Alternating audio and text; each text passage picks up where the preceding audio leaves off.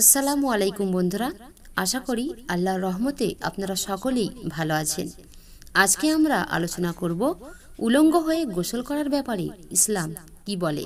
পরিষ্কার পরিচ্ছন্নতা, পবিত্রতা অর্জনের একমাত্র উপায় হচ্ছে গোসল।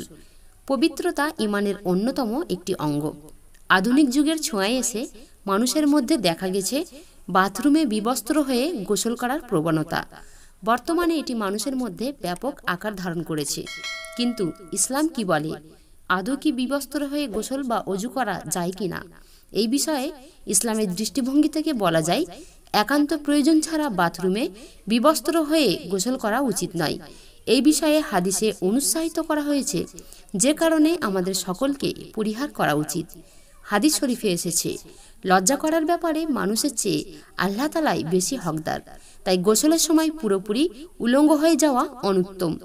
এক হাদিসে বলা হয়েছে মুয়াবিয়া বিন হায়দা রাদিয়াল্লাহ আনহা থেকে বর্ণিত। একবার রাসুল্লাহ সাল্লাহ আলী ওয়াসাল্লাম ইরশাদ করেছেন, তুমি তোমার স্ত্রী ছাড়া অন্যদের কাছ থেকে তোমার লজ্জাস্থান সর্বদা হেফাজত করো, অর্থাৎ ঢেকে রাখো।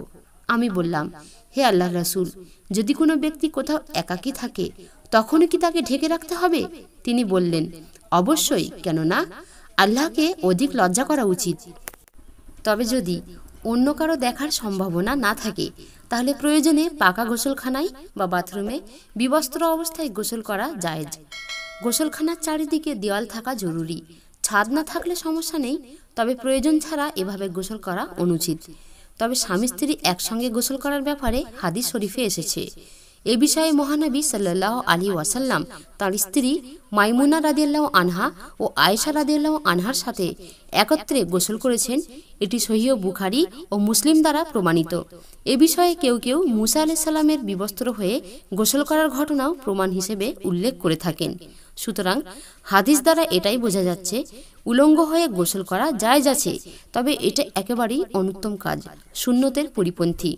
আল্লাহ রসুল সাল্লাহ আলী ওয়াসাল্লাম কখনো এরকম করেননি।